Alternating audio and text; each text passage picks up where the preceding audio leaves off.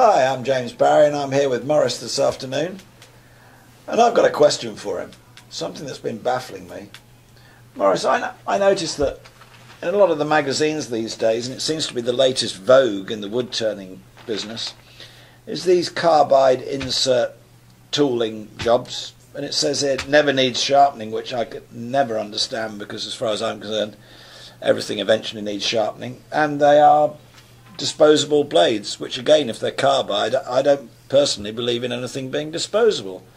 Now, if I've got the ability when I'm sharpening a router cutter, for instance, so we put that there, and I'm purely working on the flat side to sharpen a router bit here.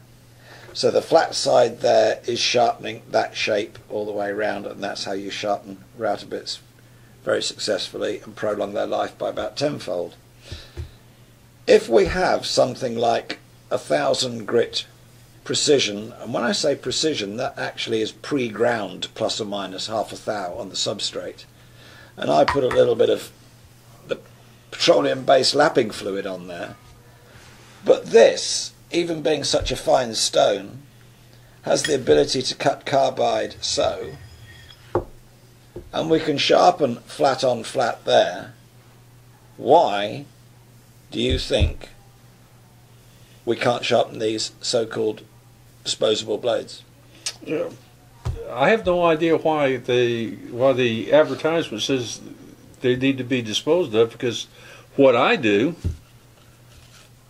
is I use the six to six hundred to a thousand grit, and I take the carbide bits on the machinist stone and just with very little pressure, rub it back and forth,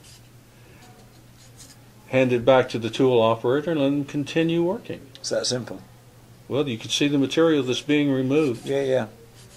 That's as simple as it can be. So get. really, with any of this shaped tooling for turners, it's very, very simple and straightforward to maintain.